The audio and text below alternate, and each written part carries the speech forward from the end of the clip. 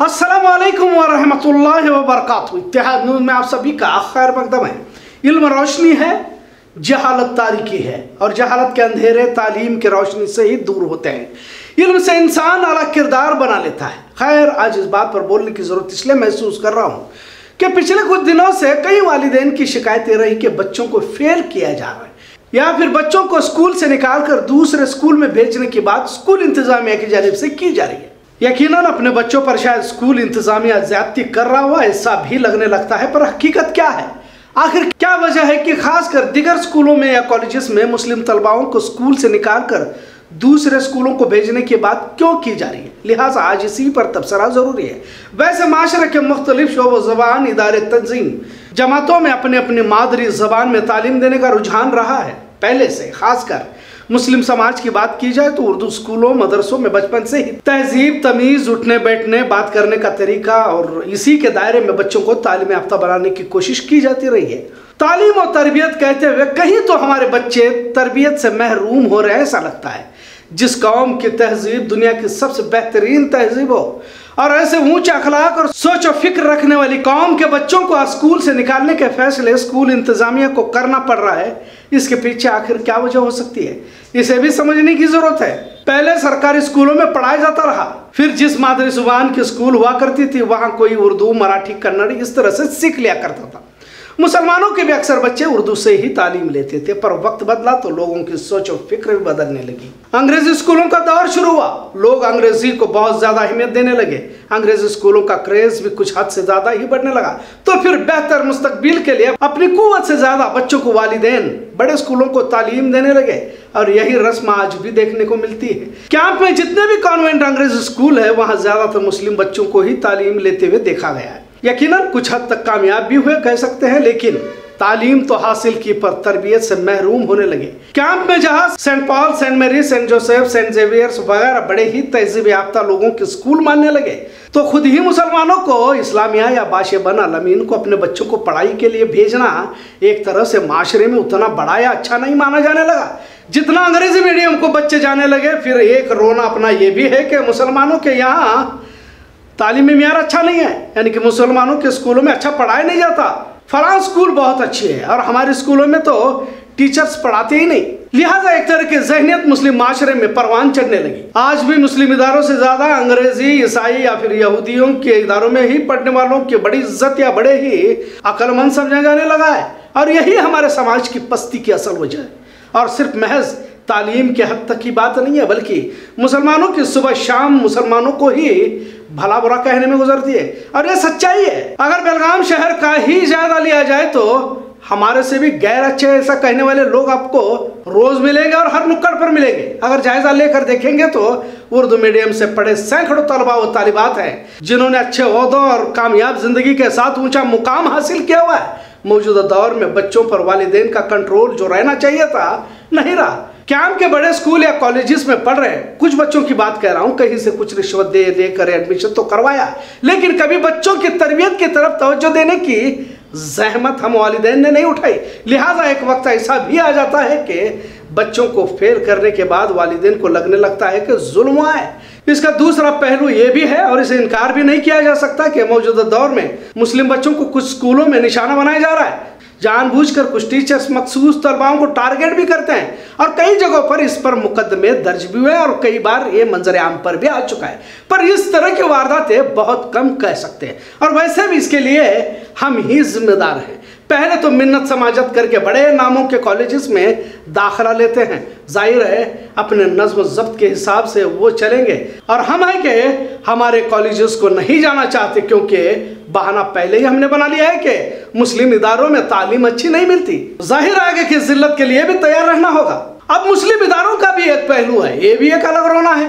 अब गैरों के इदारों में सलाम नमस्कार करके एडमिशन लेते हैं, लेकिन मुस्लिम इदारा रहा तो पहले ही झगड़े का मूड बनाकर दाखिल हो जाते हैं। फ़ीस भरने से ही मामला शुरू हो जाता है। गैरों के इदारे में जितना चाहे डोनेशन के लिए तैयार रहेंगे, लेकिन जैसे ही मुस्लिम इदारे में दाखिला लेने आएँगे अचानक गरीब बन जाएँगे। और फ़ीस माफ़ी की दरखास्तें यहाँ तक क्या इतना भी नहीं करते वाला रवैया देखने को मिलता है। कुछ स्कूलों में बच्चे की फ़ीस जक़ात से अदा की जाती है और गरीब बाप का लाडला रोज़ाना महँगी मोटरसाइकिल लेकर गुटखा सिगरेट का मज़ा लेता रहता है। मतलब हमारे यहाँ चित भी मेरी और पट भी मेरी। कहते हैं, तालीम जहालत के अंधेरों को हटा देती है, पर जिन नौजवानों के हाथों में मिल्लत का मुस्तकबिल है, वो तमाम मिल्लत के नौजवान कहाँ अपना वक्त गुजार रहे हैं? कुछ जगह पर तो खुद बाप से ही ऊँचे आवाज़ में बात करते हुए, तुम ना क्या मालूम जाओ, अब्बा कहने वालों को इसी बेलगाम शहर में देखा जा रहा है। आज कई मामले पेश आ रहे हैं, जहाँ से गैर मुस्लिम इदारों से मुस्लिम बच्चों को निकाला जा रहा है। हो सकता है कि स्कूल या कॉलेज इंतजामिया के इल्ज़ाम गलत भी हो, लेकिन क्या वाकई हमारे जिन बच्चों पर इल्ज़ाम लगाए जा रहे हैं, वो भी शरीर ना होंगे? आज सभी को लम्हे फ़िक्र करने की ज़रूरत है। तालीम के आड़ में समाज को बदनाम करना, नौजवानों को बंद करना होगा। यकीनन हालात खतरनाक बनते जा रहे हैं। दुनिया को इल्म देने वाले तो मोमिन ही थे। तभी तो कुरान की आयत इकरा बिस्मि रब्बी से शुरू हुई है। पढ़ने लिखने का पैगाम देने वाली कौम आज जिल्लत के किस मुकाम पर पहुँची है? तालीम ज़रूरी है और उससे भी ज़्यादा तरबियत ज़रूरी है, क्योंकि तरबियत ही तहजीब है और दुनिया की सबसे बेहतरीन तहजीब मुसलमानों के पास है। मुसलमान को सुबह फजर से लेकर रात सोने तक का हर अमल इस्लाम ने बताया है। ये बात अलग है कि हमारी सुबह बारह बजे होती है। इस्लाम ने जो भी हमें सिखाया है, हम तमाम को उल्टा करने की कसम ही खा चुके हैं। आप जामिया मस्जिद के पास जाओ, किस तरह से मोटरसाइकिल पार्किंग सड़क पर करते हुए देखा जाता है। इससे मालूम होता है कि मुसलमानों का मोहल्ला है। छोटे छोटे बच्चे गालियाँ बकते हुए देखने को मिलता है। घर की औरतें टीवी सीरियल से लेकर मोबाइल तक हर लम्हा मसरूफ नज़र आती हैं। फिर कौन से एजुकेशन की बात हम कर रहे हैं? और मान भी लो के कोई मुस्लिम पढ़ लिख कर I S I P S बन भी गया तो तो उसे मुसलमानों की फ़िक्र कहाँ रहती है? कुछ लोग तो बड़े अहदे पर पहुँच जाते हैं तो खुद को मुसलमान होने की पहचान को ही छिपाने की कोशिश करते हैं। मतलब तालीम की दीवानगी तो हमारे जहनों में है, लेकिन अल्लाह और उसके रसूल के दीन की मोहब्बत और अजमत का जर्रा बराबर भी पासो लिहाज हमने नहीं रखा। ज़ाहिर है पढ़ लिख कर भी कभी कभी हम जाहिल ही रह जाते हैं। अब तो इस्लाम मुसलमानों के खिलाफ बोलने वाले कुछ पढ़े लिखे लोग समाज में अकलमंद भी माने जा रहे हैं। याद रखो, दीन की समझ सबसे पहले होनी चाहिए। अल्लाह से करे दूर तो तालीम भी फितना। और इसी का अक्स माशरे में देखने को मिल रहा है। महँगी स्कूल, कॉलेजेस फिर गैरों की है या यहूदियों की हमें कोई फ़र्क नहीं पड़ता। बचपन से अल्लाह और उसके रसूल का खौफ, मोहब्बत उसके जहन में पैवस्त करने से रहे। लेकिन खौफ बड़े ऊँचे, फिर इसके लिए कमाई भी उल्टी सीधी, सभी जायज़ बन जाती है। फिर कहाँ से माशरे की तरक्की हो सकती है? पहले अपने बच्चों को सच्चा मोमिन तो बनाओ, फिर तालीम के मैदान में भेजो। घर से स्कार पहनकर बेटी तालीम हासिल करने के लिए निकल तो जाती है, पर तरबियत देने से हम रह गए तो उसे गैरों के साथ होटलों में जाने में भी शर्म महसूस नहीं हो रही। खैर, बेलगाम शहर में आजकल स्कूल कॉलेजेस को लेकर चर्चा जारी है। इस पर ये मुख्तसर तबसरा आज का मौजू कैसा लगा, इस पर ज़रूर कमेंट करें। मुकामी खबरों पर एक नज़र। बेलगाम नॉर्थ के एमएलए जनाब आसिफ राजू सेठ ने बिम्स को मुलाकात दी और मुख्तलिफ़ मरीजों के वार्डों का जायजा लिया। सुपर स्पेशलिटी अस्पताल की अफ्ताह भी हुई है, लिहाजा जदीद टेक्नोलॉजी से लैस इक्विपमेंट सरकार की जानब से फराम करने का वादा भी इन्होंने इस वक्त किया। कर्नाटक हुकूमत की जानब से कई स्कीमों का ऐलान किया गया लेकिन असल जरूरतमंद आवाम स्कीमों से महरूम नज़र आ रही है। लिहाजा सियासी लीडरों के करीब रहकर पीला कार्ड हासिल करने वालों पर कार्रवाई का इशारा हुकूमत की जानब से दिया गया है। और जुर्माना भी लगाया जा रहा है। अब तक तेरह करोड़ जुर्माना वसूलने की बात कही जा रही है। तफ्तीश जारी है, जिनके पास कार और महँगी गाड़ियाँ, वो लोग भी बीपीएल कार्ड के मालिक बने बैठे हैं और गरीबों का हक मार रहे हैं। लिहाजा इनके खिलाफ कार्रवाई का इशारा हुकूमत ने दिया।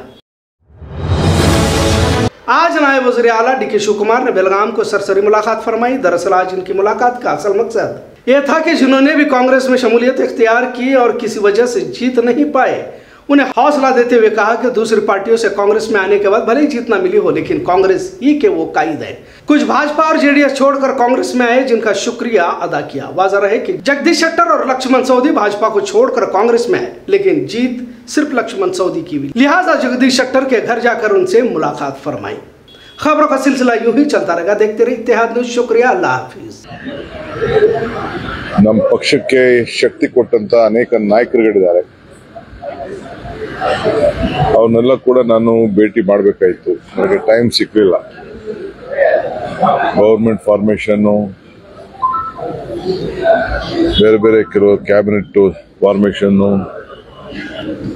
ಶಾಸಕಾಂಗ ಸಭೆಗಳು, ನಮ್ಮ ಸರ್ಕಾರದ ಗ್ಯಾರಂಟಿಗಳು ಡಿಪಾರ್ಟ್ಮೆಂಟ್ ರಿವ್ಯೂಗಳು ಇವೆಲ್ಲ ಕೂಡ ಸರ್ಕಾರ ಕೆಲಸ ಪ್ರಾರಂಭ ಮಾಡಬೇಕಾಗಿತ್ತು. ಆದರೂ ಮಧ್ಯದಲ್ಲಿ ಇವತ್ತು ಟೈಮ್ ಮಾಡಿಕೊಂಡು ಪ್ರತ್ಯೇಕವಾಗಿ ಜಗದೀಶ್ ಶೆಟ್ಟರ್ ಅವ್ರನ್ನ, ಸೌದಿ ಅವ್ರನ್ನ ಭೇಟಿ ಮಾಡಬೇಕು ಅಂತೇಳಿ ಬಂದಿದ್ದೇನೆ. ಇದಲ್ಲದೆ ನಮ್ಮ ತುಮಕೂರು ವಾಸು ಗುಬ್ಬಿ ವಾಸು ಇರ್ಬೋದು, ಶಿವಲಿಂಗೇಗೌಡರು ಇರ್ಬೋದು, ನಮ್ಮ ಪುಟ್ಟಣ್ಣ ಇರ್ಬೋದು ಇವರೆಲ್ಲ ಬೇರೆ ಪಾರ್ಟಿಯಿಂದ ಎಲ್ಲ ತಮ್ಮ ಸ್ಥಾನಗಳಿಗೆ ಚುಂಚನಿಸಿರೋರೆಲ್ಲ ಕೂಡ ಇರೋ ಸ್ಥಾನಗಳನ್ನು ರಾಜೀನಾಮೆ ಕೊಟ್ಟು ನಮ್ಮ ಪಕ್ಷಕ್ಕೆ ಸೇರಿ, ನಮ್ಮ ಪಕ್ಷಕ್ಕೆ ಕೂಡ ಶಕ್ತಿ ತುಂಬಿದ್ದಾರೆ. ಸೊ ನಾವು ಅವ್ರಿಗೆ ಶಕ್ತಿ ತುಂಬಬೇಕಾದ್ದು ನಮ್ಮ ಕರ್ತವ್ಯ. They are our leaders of the Congress party ನಮ್ಮ ಪಕ್ಷದ ನಾಯಕರುಗಳು. ಇಲ್ಲಿ ಬಾರ್ಗೇನ್ ಮಾಡೋಂಥದ್ದು ಇಲ್ಲೇನಿಲ್ಲ ಇಲ್ಲಿ. ಎಲ್ಲ ಸಂದರ್ಭದಲ್ಲೂ ಅವ್ರಿಗೆ ಯಾರು ನಮ್ಮ ಜೊತೆ ಧೈರ್ಯ ಮಾಡಿ ನಮ್ಮ ಜೊತೆ ಕೈ ಜೋಡಿಸಿದ್ದಾರೆ. ಅವ್ರನ್ನ ಯಾರು ಕೈ ಬಿಡೋ ಪ್ರಶ್ನೆ ಕಾಂಗ್ರೆಸ್ ಪಕ್ಷಕ್ಕೆ ಬರುವುದಿಲ್ಲ. ಗೆದ್ದಿರ್ಬೋದು ಸೋತಿರ್ಬೋದು. ಅವರು ನಮ್ಮ ನಾಯಕರು.